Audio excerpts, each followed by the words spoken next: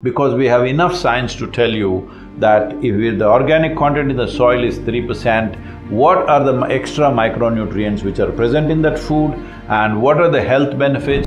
This is not happening only because of lack of singular direction and commitment. That's what I would like to bring to the COP 15 in uh, Ivory Coast. Every nation, poor or rich, can do it and it should be done.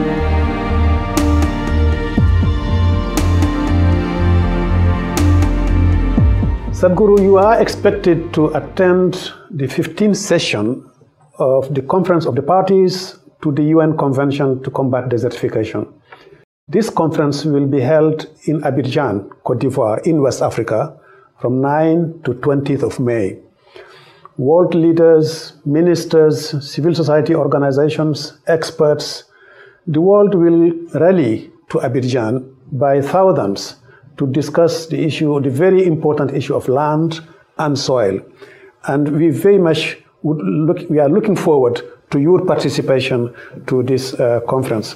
I believe Abidjan is one of the cities that you'll be visiting as, uh, during that uh, 100 day. What do you expect from a conference of the parties like this one in Abidjan, and what do you hope to accomplish there?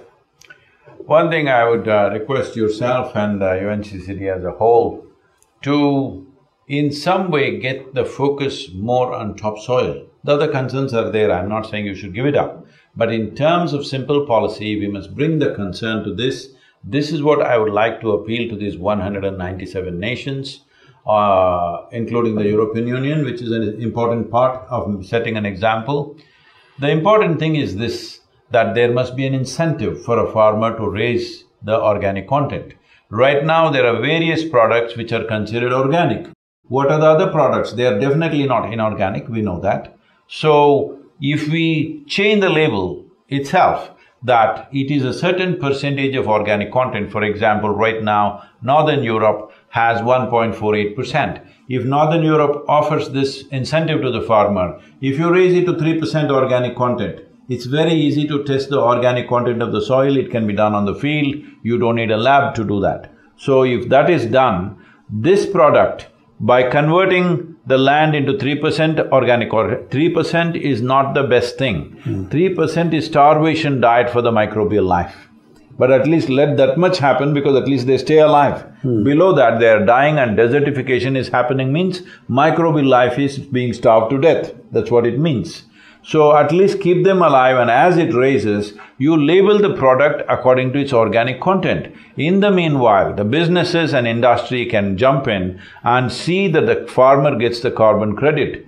It's very important we enhance the remunerative aspect of farming, otherwise nobody will be farming in another 25, 30 years' time. So another thing is the product will find different uh, ladders in the marketplace, three percent, four percent, five percent, because we have enough science to tell you that if the organic content in the soil is three percent, what are the extra micronutrients which are present in that food and what are the health benefits, what are the preventive health benefits, all this is well established. We just need to collate this and establish a roadmap that the whole world moves towards a minimum three to six percent organic content in the next eight to twelve years' time. It is very much doable because just if you bring cover crops in summers or winters according to the nature of one's climate, just the cover crop and plow it back into the land, if you do this, within six to eight years, most lands will reach three percent minimum.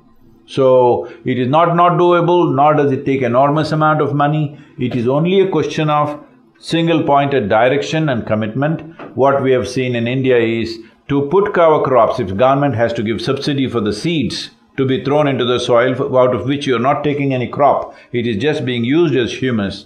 If you have to do that, it just costs 450 rupees per acre, which is just five euros or less than five euros per acre. Every nation can do this. It does not need heavy budgets. If you want to do it within two to three years' time, it'll cost a little more money. But if you want to do it in six to eight years' time, every nation can do it. This is not happening only because of lack of singular direction and commitment.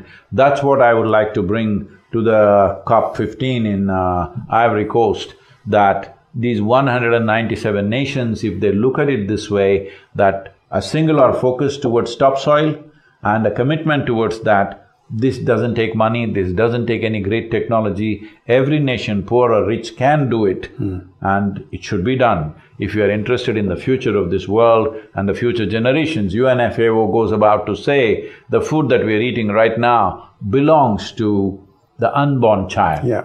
Eating up the food of the unborn child hurts me deep in my heart. It feels like we are committing a crime against humanity itself. Well, thank you very much, uh, Sadhguru. Um, thank you to all listeners and viewers.